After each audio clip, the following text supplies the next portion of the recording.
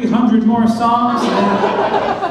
we'll get uh, Cory Grinder and the uh, Play Playgirl Boy Scouts are going to come up. Excited to see them. And then after Cory Grinder will be the headlining band uh, REO Speedwagon. So make sure you stick around for that. Before we go any further, I'd like to uh, introduce the young lady playing the fiddle. Uh, Unfortunately, we're pressed for time, so... No, folks, she's originally from Denver, Colorado. She now makes her home in a place called Cleveland, Ohio. A big round of applause, if you would.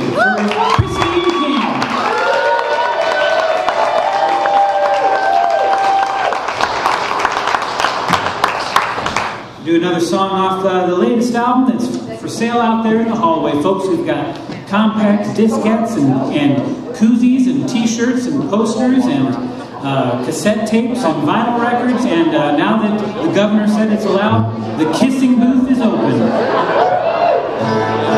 So make sure you visit us. Here's one called Since I've Lost You.